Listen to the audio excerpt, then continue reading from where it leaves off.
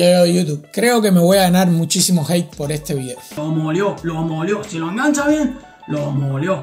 Lo molió, de verdad, gente. Miren eso. Lo molió, lo molió. Si lo engancha bien, lo molió. Lo molió, de verdad, gente.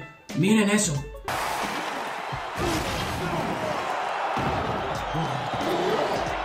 Ok, CM Punk es un tipo que si no fuera porque peleó en la UFC, no tengo idea ni por qué. Simplemente no lo hubiera conocido porque no tengo mucha idea de lo que sucede dentro de la WWE. Y este tipo cuando lo empecé a buscar y empecé a ver, porque mucha gente me decía, haz un video de CM Punk, haz un video de CM Punk. Y yo decía, ¿quién es CM Punk? Ese tipo yo no sabía ni que había peleado dentro de la UFC, pero la gente me seguía diciendo que hiciera videos de CM Punk. Así que busqué a CM Punk y lo que encontré fue que ese tipo había sido campeón de la WWE. Y ahí es donde te das cuenta de que la WWE simplemente es una película. Sinceramente, por esto estoy diciendo que me voy a ganar muchísimo hate en este video. Así que después de que muchísima gente me dijo, busca CM Punk, haz un video de CM Punk, habla de CM Punk, sobre todo Nathaniel, creo que es su nombre, un abrazo, bro. Dije, vamos a buscar las categorías de peso de la WWE. Yo la verdad no puedo encontrar nada, no sé, ni, no tengo ni idea siquiera si en la WWE hay categorías de peso. Creo que no, al parecer no, por lo que pude ver no, pero no tengo ni idea. Lo que sí pude ver fue que este tipo había peleado con Brock Lesnar, fue que este tipo había peleado con un montón de gente que son animales al lado de él y para mí que este tipo se la creyó.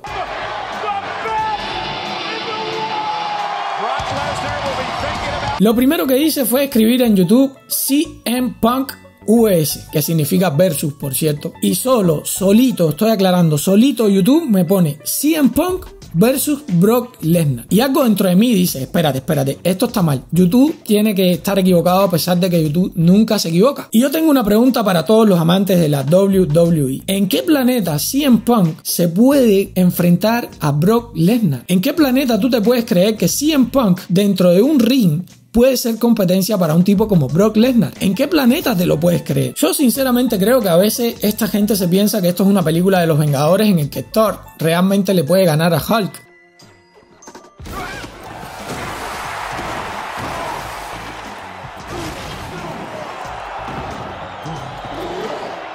Sinceramente, me parece que a veces la gente tiene eso en la cabeza. Y le voy a ser sincero, simplemente cuando entré en esa pelea lo que estaba viendo era a Hulk frente a un cabro que es un saco de tatuajes en calzoncillos y botas de cuero. Lo pones en un club de strippers de hombres, que supongo que existe en club donde los strippers son hombres. Digo yo, no sé, porque la realidad es que no tengo ni idea de si esto existe o no, pero si no existe, supongo que debe ser por un embrismo de nuestra sociedad. Y se muere de hambre este cabro, bro. Se muere de hambre, sinceramente. No sé cómo este bro se presenta así con esos calzoncillos y esas botas. Pero bueno, eso no es problema mío, simplemente la gente que sigue la WWE, ahí se los dejo. Segunda pregunta, ¿en qué planeta la gente se cree que esto es un triángulo? Bien puesto. O sea, mi pregunta es, ¿ustedes creen que Brock Lesnar estaba sufriendo con este triángulo? ¿Ustedes creen que ese triángulo estaba cerrado? ¿Ustedes creen que le estaba haciendo algún tipo de daño a Brock Lesnar ahí? Amigo, que tienes la cámara de frente, que la cámara lo está filmando. O sea, se ve claramente que Brock Lesnar está prácticamente muerto de la risa. Y todavía levanta la mano como si fuera a tapiar. Es un chiste mal hecho y la gente grita como si fuera... Es un circo realmente la WWE. Discúlpenme a todos sus fanáticos. De verdad, discúlpenme. Simplemente estoy haciendo aquí una especie de parodia. Créanme, esto es una parodia. No estoy intentando ser ofensivo en contra de usted. Pero es que le falta un metro en cada pierna para poderle montar un triángulo a Brock Lesnar. Con el ancho de hombro que tiene Brock Lesnar. Le falta un metro a este bro de CM Punk en cada pierna. En serio lo digo. Luego vi que este cabro también le ganó a John Cena. John Cena, bro. John Cena es el hermano de Vin Diesel.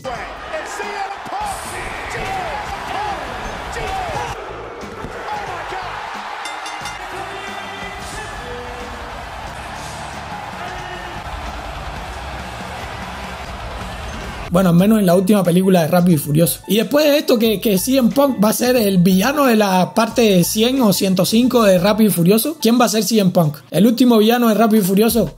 ¿O después va a ser parte de la familia también? Ya no sé, aquí hasta Rápido y Furioso va a coger palo en este video. Y después de esto, a mí realmente no me extraña que hay personas que a los 30 todavía creen que son Goku. ¡Mano arriba, hermano y hermana! ¡Guau! ¡Toma la que quedaba! Así que nada, Kaiser, te amo. Aquí fue donde entendí lo que estaba sucediendo. Y es que este cabro se había enfrentado a Brock Lesnar, La Roca, John Cena. se había enfrentado con tipos tres veces más grandes que él. Tres veces más fuerte que él.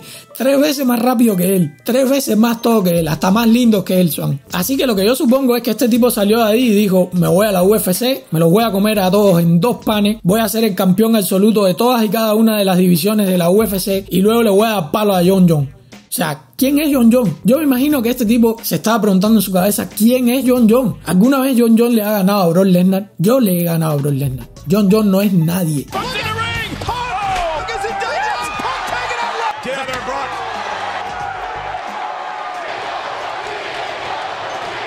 Así que CM Punk llegó a la UFC a pelear en la categoría de 170 libras. Esto lo aclaro porque Brock Lesnar probablemente pesaba 100 libras más que CM Punk en cada una de sus peleas. Muy probablemente Brock Lesnar peleaba con 100 libras más, unas 270 libras aproximadamente, si no es que más. Y su primer oponente fue Michael Gall, un chico que nació en el año 92 y que en 2016, o sea, cuando se celebró la pelea entre CM Punk y él, tenía tan solo 24 años y simplemente lo molió. Pero lo molió, lo molió, o sea, simplemente lo molió, no le dejó la más mínima oportunidad y lo molió. Lo molió, lo molió, si lo engancha bien, lo molió, lo molió, de verdad, gente, miren eso.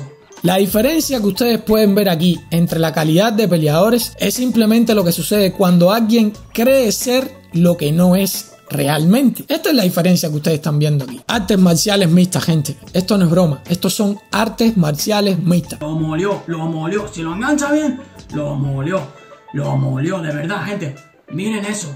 Para su segunda pelea trajeron un tipo que había perdido sus dos únicas peleas como profesional, una fuera de la UFC y la otra dentro de la UFC. Tenía 0 y 2. Mike Jackson es el nombre del tipo este que les estoy hablando que fue de la segunda pelea contra CM Punk. Nuevamente CM Punk recibió una paliza. Pero aún así, Mike Jackson no finalizó la pelea, teniendo la oportunidad de hacerlo en varias ocasiones. En varias ocasiones estuvo dominando la pelea, pero por mucho estuvo dominando la pelea. se veía que CM Punk no tenía nada que hacer, pero aún así este tipo no decidió, por razones que todavía no entiendo y que no voy a comprender nunca, finalizar la pelea, al igual que había hecho Michael Gall, que sí había finalizado la pelea, que sí había demostrado por qué la UFC es la UFC y por qué las artes marciales son artes marciales y por qué este deporte hay que tomarse en serio. Lo que sucedió es que Dana White terminó tan enojado, pero tan, tan, tan, tan enojado con este tipo, Mike Jackson, que simplemente le dijo que no iba a pelear más en la UFC. Porque este deporte hay que respetarlo, cosa que yo veo bastante, bastante bien. Sinceramente creo que muchos pueden criticar a Dana White por esta decisión, porque simplemente ganó la pelea y pues como ganó la pelea tenía que seguir dentro de la UFC, pero es que no es así. La diferencia que demostró era notable. Tenía que finalizar, tenía que demostrar que la UFC y que las MMA son completamente diferentes y que son reales. Había que demostrarle al público que la UFC y las MMA son de verdad, que no son una película con guion. Y creo que principalmente lo que Dana White le molestó mucho, mucho, mucho es cuando se comparan los dos deportes. Cuando tú pones a un deporte al lado del otro. Cuando tú te das cuenta que un deporte tiene un guion y el otro no.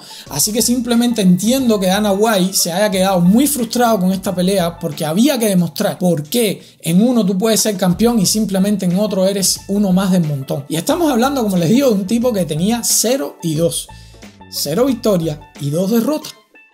Increíble.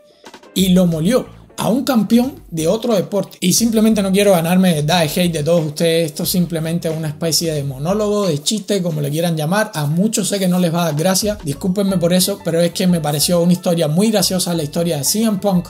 Como un tipo se pensó en su cabeza, en su cabeza que todo era ideal, que realmente podría llegar a la UFC y hacer algo ya no en los pesos pesados, porque al parecer ganó en una categoría abierta dentro de la WWE, como le digo, no tengo ni idea de si ahí hay peso o no, porque traté de buscarlo y no encontré que hubiera categorías de peso. Así que simplemente cuando vi todo esto dije, ¿de dónde salió este tipo? ¿De dónde? Tú no eres Brock Lesnar que tiene unas ventajas físicas descomunales con respecto a otros peleadores. Y sinceramente me pareció una historia chistosa de contar. Así que nada, no se enojen conmigo, por favor. Gente que siga la WWE esto es simplemente un chiste. Ustedes pueden seguir viendo la WWE como mismo ven series de anime a Goku y como mismo ven todas esas cosas. Y lo único que les pido es que no se lo crean, ¿ok? No vas a tirar una Genkidama y no le vas a ganar a Brock Lesnar porque lo digan un guion que le tienes que ganar. Así que nada, nos vemos en la próxima aventura, gente. Chao. es porque trabajó duro. ¿Qué estás haciendo tú? ¿Qué estás haciendo? Viendo este video. Viendo este video, otro video, otro video en el sofá, todo el día en el sofá. Tú no estás haciendo nada. he goes from like cocky and confident, I'm the fucking champ or whatever at WWE to like, oh, you know, just believe in yourself, kids. Like it's, it's like really hard to I just Don't- don't listen, get it. don't believe in and he has no physical like no physique. He doesn't. He's not like it's like it's kind of sad.